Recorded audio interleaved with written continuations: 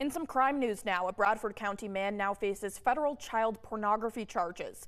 Jay Holloway is accused of having and distributing child porn for around two years starting in August of 2021.